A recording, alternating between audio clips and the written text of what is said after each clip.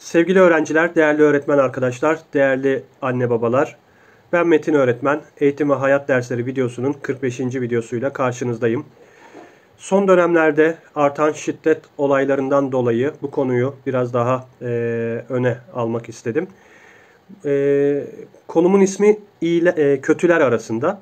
İyiler arasındayı da e, bundan sonraki videoda çekmek istiyorum. İlk başta kötüler arasında başlığıyla başlayıp insanları ikiye ayırdım ve e, kötü insanlar, iyi insanlar. Kötü insanların özelliklerinden aklıma gelenleri yazdım. İyi insanların da aklıma gelen özelliklerini yazdım.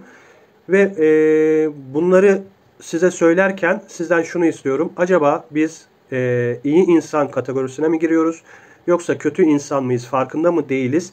Toplum olarak e, kötüye gittiğimizi düşünüyorum. Yani her geçen gün yani insanlara şiddet, e, yani sosyal medyada görüyorsunuz yani kafasına direkt vurmalar, işte öldürmeler, köpeğe şiddet, bitkilere şiddet, doğaya şiddet birçok şiddet olaylarıyla karşılaşmaktayız.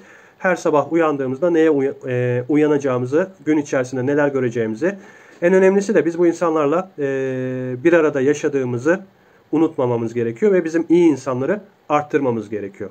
Yani e, birilerinin bir şey yapması gerek açıkçası. Buna dikkat çekmek istedim.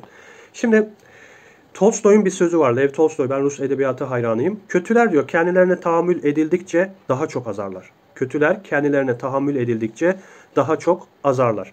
Ee, size bu videoda dediğim gibi kötü örnekler vereceğim. Ee, medyada işte görüyorsunuz yani siyasetten, diziden, magazinden, toptan, poptan biraz sıra gelsin. Yani e, inanın Televizyonu açtığınızda diş kavuğunu doldurur bir program yok. Toplum uyuşturulmakta ve TV yöneticileri ahlaksızlığa milyon dolar yatırım yapmakta. Bu da toplumun ahlakına, ahlaki yapısına e, ciddi derecede e, dinamit koymakta. Ve Rütük bunu seyretmekte. Maalesef Rütük bunu seyrediyor. Bizim çocuklarımızı bu kirli ortamdan korumamız lazım. E, bu kir, bu kadar kirli ortamda e, iyi çocuklar yetiştirmek inanın zorlaştı.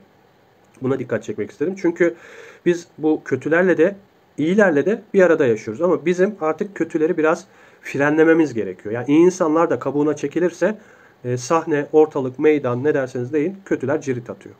İyiler de korkudan dolayı, işte gelecek endişesinden dolayı e, geriye çekilirse ortalık bunlara kalıyor. Biz bir olay olduğunda şundan öte geçemiyoruz. Ne vicdansız herifler, ne insafsız. Böyle de olur mu? Bu kadar da şiddet yapılır mı? Sürekli kınama modundayız. Biz kınamanın artık ötesine geçmeliyiz. Yani devlet de kınama modunda, toplum da kınama modunda.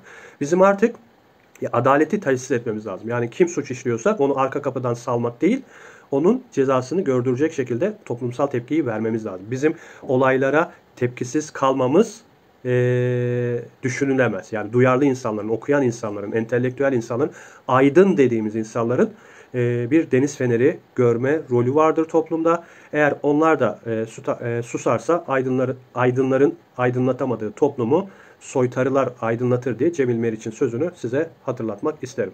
Şimdi ben başlıyorum kötü özelliklere. Dediğim gibi bu özellikleri sayarken herkes kendinde bunlardan bir veya birkaçı veya hiçbiri e, olmayabilir. Bunlara e, dikkat çekmek istiyorum ki iyi miyiz kötü müyüz en azından farkında olalım. Çocuklara, kadınlara, hayvanlara, bitkiye, doğaya şiddet gösterenler, zarar verenler. Çocukları, kadınları, hayvanları taciz edenler. Sabah akşam yalan söyleyenler. Saltanat dinciliği ile dine zarar verenler.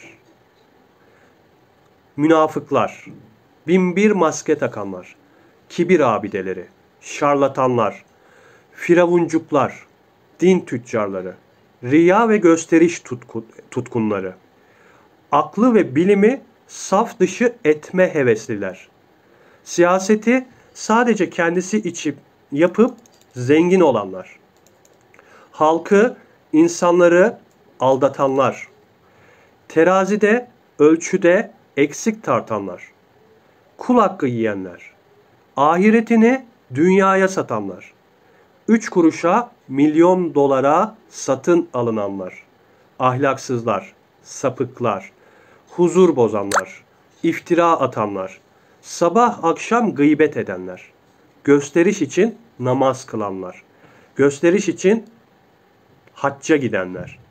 Haksız yoldan mazlumların sırtından kazanç elde edip onları ezenler.